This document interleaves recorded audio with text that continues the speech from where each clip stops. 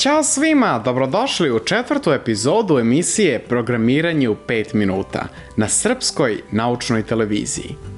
Moje ime je Robot Radiša i ja ću vas naučiti kako se to programira u programskom jeziku Scratch. U prošloj epizodi naučili smo kako da programiramo da se naš lik kreće. A sada ćemo se upoznati sa još nekim od elemenata kretanja. Pomenuli smo događaj iz kartice događaj – kada je kliknuto na zastavicu. Mi želimo da naša animacija počne kada se klikne na zastavicu. Pa ćemo ovaj događaj da iskoristimo ponovo. Sledeći korak bio je da postavimo naš lik na početak trotoara tako što smo ga prevukli na početak trotoara. Kliknuli na karticu kretanje, a potom prevukli naredbu idi na koordinate. Sada ćemo se upoznati sa jednom novom naredbom. To je naredba iz kartice upravljanje koja se zove ponovi. Ona će naredbe koje se nalaze u njenom telu, odnosno koje ona obuhvati, ponavljati onoliko puta koliko mi želimo. Mi ćemo odabrati da se naše naredbe ponavljaju stotinu puta. Kliknite na broj 10 i unesite broj 100. Upoznajemo se i sa naredbom za promenu kostima našeg lika.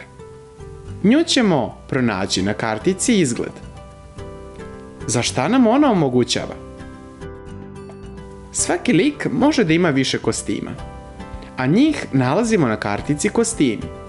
Kada kliknemo na karticu kostimi, možemo da vidimo koje kostime lik ima, koji je trenutno odabran kostim kao i kako izgledaju svi oni.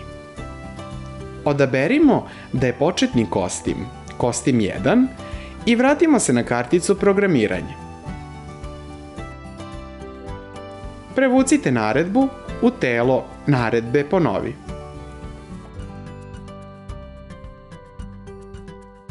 Potom ćemo iz kartice upravljanje prevući naredbu čekanja.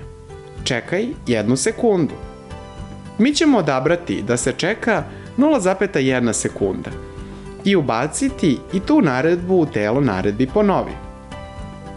Zatim kliknite na karticu kretanje i prevucite naredbu idi 10 koraka kojom će naš lik da se pomeri za 10 koraka u smeru svog kretanja. Nakon toga želimo da lik promeni kostim u drugi kostim koji imamo kako bismo dobili efekat animacije. To radimo uz pomoć naredbe Zameni kostim iz kartice izgled. Samo što ovaj put biramo kostim 2. Onda možemo ponovo da stavimo naredbu čekanja iz kartice upravljanje i ponovo da unesemo da se čeka 0,1 sekunda.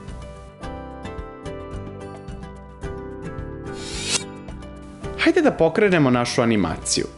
To radimo tako što kliknemo na zastavicu. Naš lik se kreće i u svakoj iteraciji on promeni kostim na kostim 1. Sačeka, pomeri se za 10 koraka, ponovo promeni kostim samo na kostim 2. Ponovo čeka i tako u krug.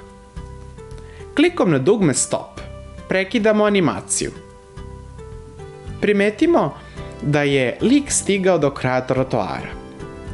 Hajde da omogućimo da se prilikom dolaska do kraja scene naš lik okrene.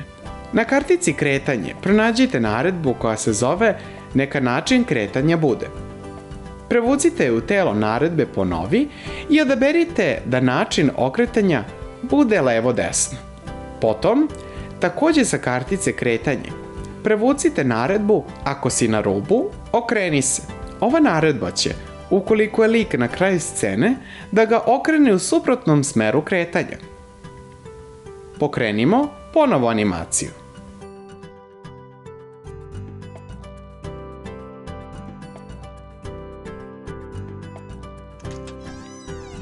To bi bilo sve za sada, drugari. Mi se vidimo i u narednoj epizodi. Pozdravlja vas Radiša!